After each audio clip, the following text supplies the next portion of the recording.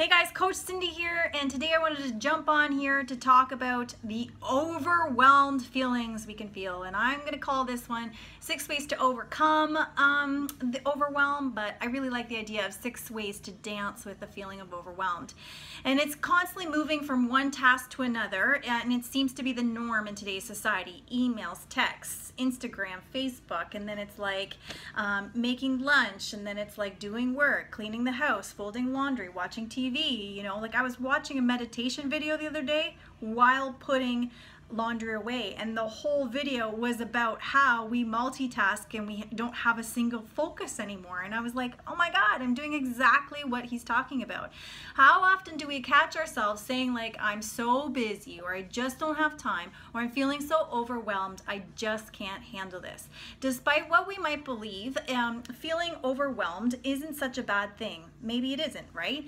We often equate being overwhelmed with uh, feeling stressed but really what we're doing is experiencing a lot of feeling all at one time. We've meshed the big and the small combined, and there's a lot going on in our lives. On the positive side, it can also be an opportunity for growth, and it can force us to pay attention to everything else.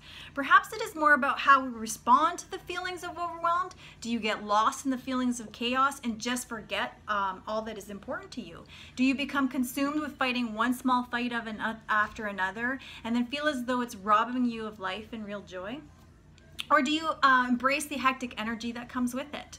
While we can all become overwhelmed uh, from time to time, feeling this way all the time, it can become um, a roadblock to leading the life that you want, having the body that you want, the energy, the body confidence, the relationship with exercise, food, you insert whatever it is that you want. It robs us of the today in, uh, in the bigger picture and can make it hard for us to focus on what is important or allow us to prioritize our lives. Feeling overwhelmed is bound to all of uh, happen to all of us at some point or another. The key is learning how to cope with it and not let let it consume us. Here are six ways that I'm going to tell you to deal with feelings of overwhelmed. So the first one I call hold versus pause. When we get so wrapped up in the little details that don't really matter in the grand scheme of things, we put our happiness on hold or our goals on hold. Instead, press pause. Breathe through it, let go of perfection, and think beyond a particular moment to what will bring you the most happiness in the long run and focus on what you want from your life in general. Number two, I call this Joker versus Ace. If you're always choosing a Joker, it means that you just keep juggling as many balls as you can in the air, but you keep dropping them. Whether you see it or not, you're so wrapped up in trying to keep all your balls in the air that inevitably those things or people who are important to you just start slipping away.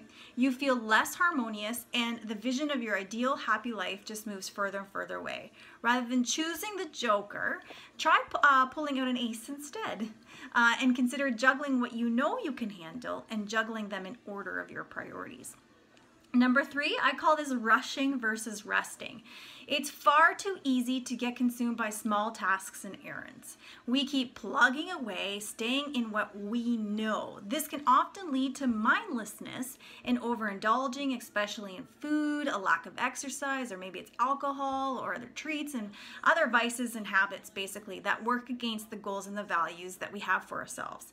Yet we choose, um, so we can choose to schedule breaks, the resting versus the rushing, um, time with friends and family, technology free days, preparing a nourishing meals, moving a quick workouts like versus doing hour or going to the gym. We do a home workout, a shorter workout, uh, shorter meditations versus in a formal practice. You know, sometimes it means locking yourself in the bathroom just to have two minutes to breathe.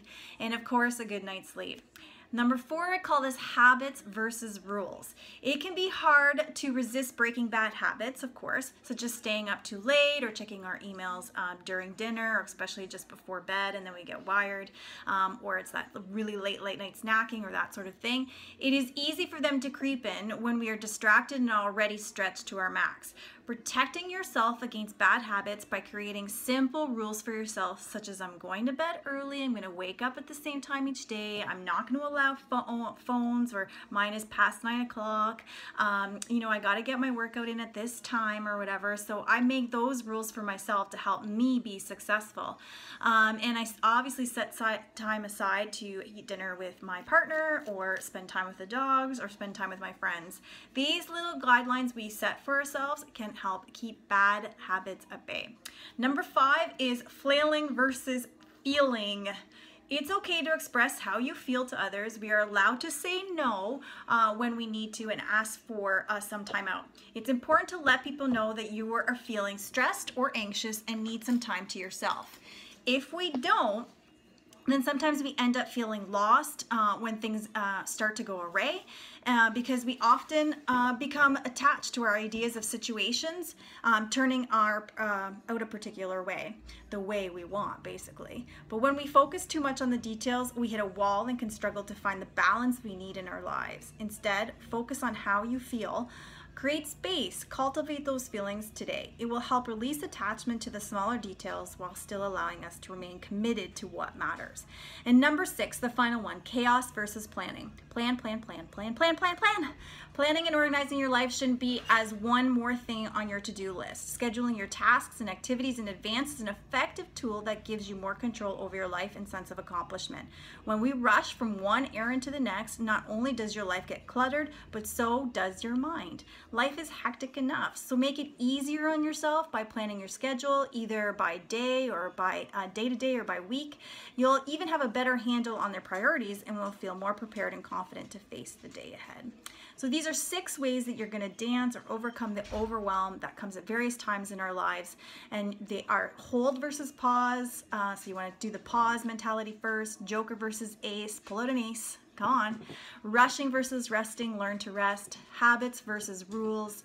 Uh, flailing versus feeling, feeling. And chaos versus planning. So I hope that helps you today as you navigate feelings of overwhelmed, or perhaps in the future you'll revisit this one and have a different experience with the overwhelm uh, feeling and learn and um, learn to appreciate that it could be an opportunity for growth. Thanks.